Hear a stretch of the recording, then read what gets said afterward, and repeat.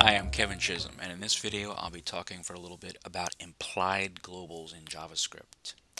I think the most important thing to keep in mind is that in JavaScript, privacy is created inside of a function. So if I have this function called test, inside of it I've created a variable named color. I've used the var keyword, said var color equals red. So simply because I use the var keyword, that variable color is private to this function. It is completely inaccessible to the outside world. So if I were to then execute this function and then try to get a hold of the color variable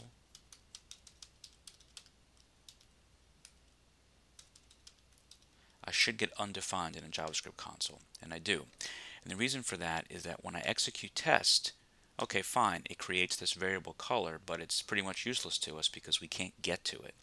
Now, if I were to remove that var keyword, I believe we should get red in the JavaScript console now. We do. The reason for that is because when you omit the var keyword, when you have this at first and then get rid of it, this becomes what's called an implied global. It means that it immediately becomes a property of the window object. So this is exactly the same as doing this. It has the exact same effect. Here, we're creating a variable called color and we're doing it globally. And of course, it's available to us right here.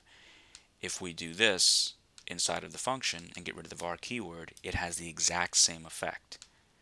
Leaving off the var keyword makes color a global. And we can take we can prove that by saying, well, if it's global, that means it becomes a property of the window object. So if I do console log window.color, I should get red, and I do. Now if I say delete window.color, now you can't delete variables, but you can delete properties of objects. So if I delete window.color, and it worked, and then if we do another console log and we do window.color, we get undefined because we just deleted the color property of the window object. So I think the main thing to keep in mind is that when you use the var keyword, you create a private variable inside of a function. When you omit the var keyword, that variable becomes a global. And when it becomes global, then it becomes a, pr a property of the window object. And that's how you create an implied global. Generally, you don't want implied globals. I would say that they are almost without exception an unintended consequence of forgetting to use the var keyword inside of a function.